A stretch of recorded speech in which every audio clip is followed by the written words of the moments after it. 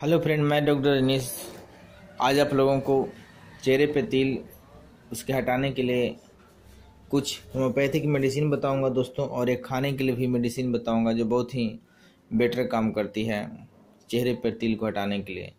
तो फर्स्टली आप ये जान जाएँ कि जो तिल का जो जो तिल है, ये कोई रोग नहीं है। ये लड़कों को भी होता है दोस्तों, लड़कियों को होता है।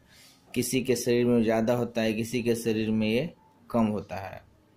और लेकिन अगर ये चेहरे पर तिल हो जाती है तो कुछ चेहरे की सुंदरता में दिक्कत पैदा करती है। इसलिए लोग तिल को हटाना चाहते हैं। बहुत सारे लोग पूछते हैं, क्या होम्योपैथिक में मेडिसिन, होम्योपैथिक मेडिसिन आता है कि जो चेहरे के तिल को हटा दे? लोग, कुछ लोग सर्जरी नहीं कराना चाहते हैं, बस तिल को नॉर्मली मेडिसिन से गायब कर देना चाहते हैं।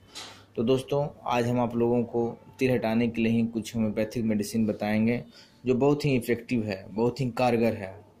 तो फ़र्स्ट मेडिसिन है दोस्तों, oleum सेंटलिस Q. Mother tincture medicine है दोस्तों। ओलियम सेंटलिस क्यू आप मार्केट में जाएँ और लें, अच्छी कंपनी का लें और उसे कॉटन पर लगा करके जहाँ पर तिल है, वहाँ पर दो से तीन बार आप वहाँ पर लगाएँ तो बहुत ही बेटर काम करते हैं और बहुत ही इफ़ेक्टिव मेडिसिन है दोस्तों, ओलियम सेंटलिस। और दूसरी मेडिसिन है दोस्तों, ये भी इफ़ेक्टिव है, बर्बेरी से कोफोलियम क्यू इसे भी तिल पर, तिल जहाँ जहाँ तिल है, उस उस पर लगाएँ। ये दाग धब्बों में भी लेकिन काम करते हैं दोस्तों, हटाने में। ये भी मेडिसिन अच्छी है। दूसरी मेडिसिन है दोस्तों, थूजा क्यू जिन लोगों को बहुत सारा तिल रहता है, उसके लिए भी बहुत ही इफ़ेक्टिव मेडिसिन है थूजा क्यू इसे भी आप कॉटन पर लेकर के जहाँ जहाँ तिल हैं, वहाँ वहाँ लगाइए तो बहुत ही इफ़ेक्टिव मेडिसिन है ये सब। और दोस्तों, एक खाने के लिए मेडिसिन बता रहा हूँ दोस्तों। उस मेडिसिन का नाम है थूजा टू हंड्रेड उसे आप एक बार चार बोन डेली खाएँ।